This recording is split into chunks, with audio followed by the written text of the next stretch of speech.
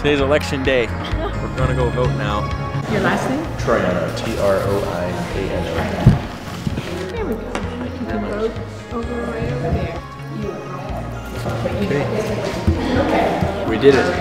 I'm here working the poll today uh, in support of Nick Troiano. Today I took off work to help campaign for Nick and hopefully he can become our next congressman and help break the gridlock in Washington, D.C.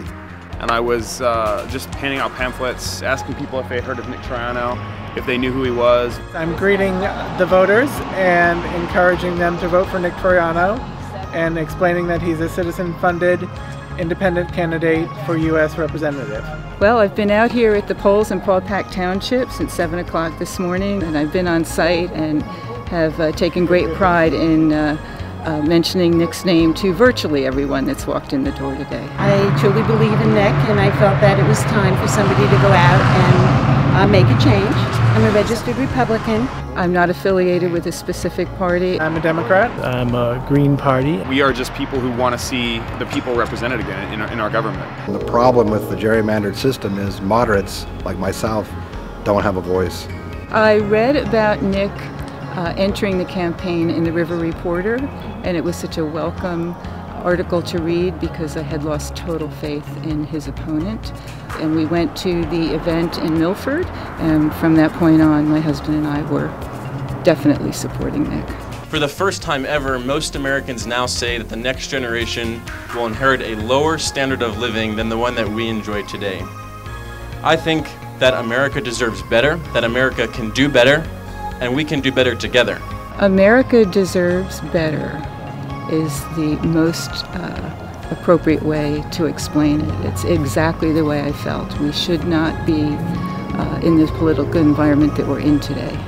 And so that resonated totally with both of us. I was trying to, to go to different political campaigns and see if they wanted to utilize our product as an advertising mechanism. And I was so enthralled with what they were doing that they actually like reversed the sales pitch on me and I was like, oh my god, okay, I'm just gonna work for you guys and like volunteer. What spoke to me the most about Nick's message was his focus on addressing our national debt and fiscal responsibility, but also that he would only accept contributions from real people, uh, not from PACs or special interests. And I decided that he's the type of person I'd love to help with this campaign.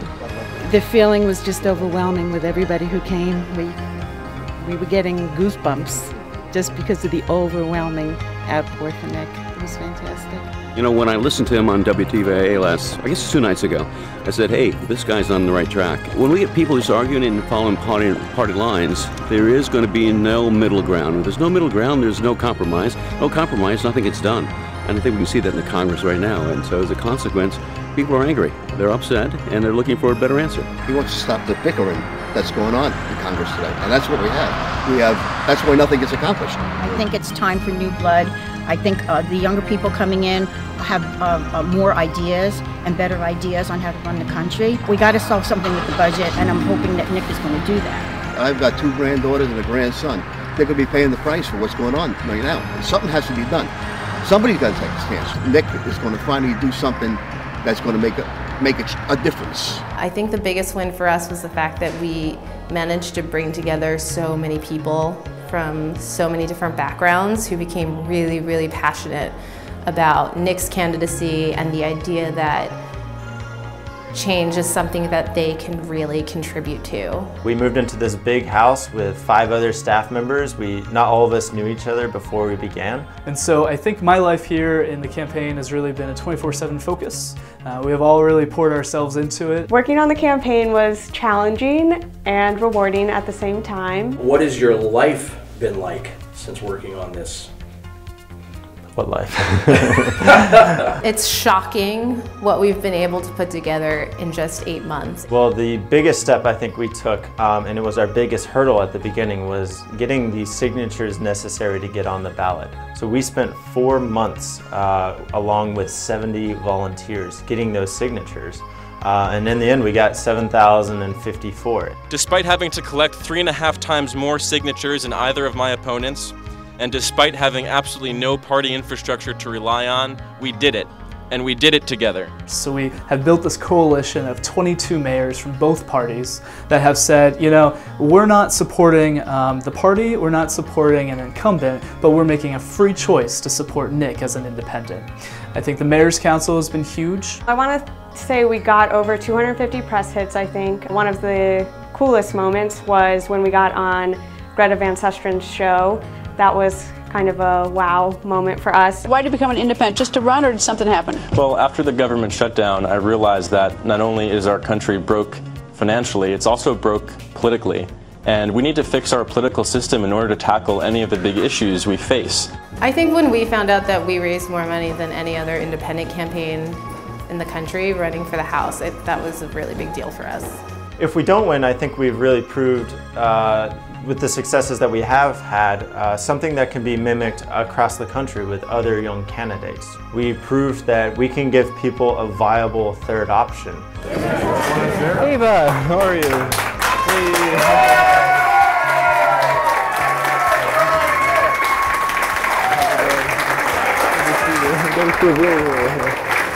We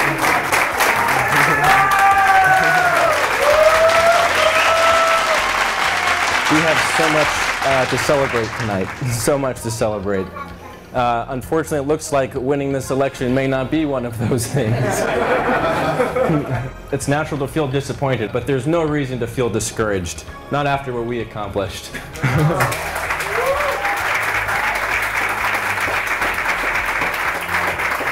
first thing I want to say is thank you.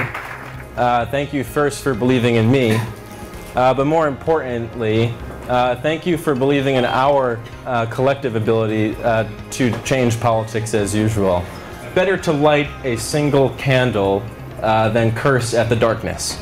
Better to light a single candle than curse at the darkness. And in the darkness of today's partisan, gridlocked, special interest, corrupt system, we not only lit one candle, tonight we lit over 20,000 candles.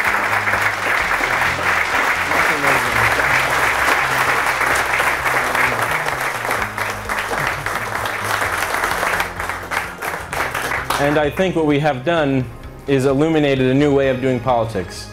Uh, we've illuminated a way of running for office untethered to a party, untethered to the special interest. We've illuminated a way of running a substantive, issues-oriented campaign uh, that hopefully will have ripple effects uh, for, for election cycles to come in our district and far beyond.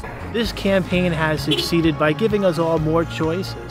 Folks uh, are tired of politics as usual. I think it's really um, motivated young voters to get involved and feel optimistic about millennials' influence in politics today. It's demonstrated to a lot of people they don't have to uh, accept status quo. And so the message is getting out there to start to look at things differently. I think that everywhere in the country, people need that that option. They need to believe in their political system again. They need to understand that they are their political system again. What I would like other people to take away from this effort, perhaps, is that you should try something, even if you're not sure if it can be done, because if our generation doesn't get involved and start to change things, it's not going to happen and we're the ones that have the most at stake. And I think that we've also opened the floodgates for other uh, candidates across the country like ours, young Republican or Democrat, to run differently. I want people to know that this effort is not a single issue here in our district, here in Pennsylvania that our effort is an effort of the millennial generation, is an effort for all independent thinkers across America. When I think back on everything that we've accomplished over the last eight months, and I think about the fact that there's another election in 2016, I just imagine what we could do over the next two years. I think this is just the beginning.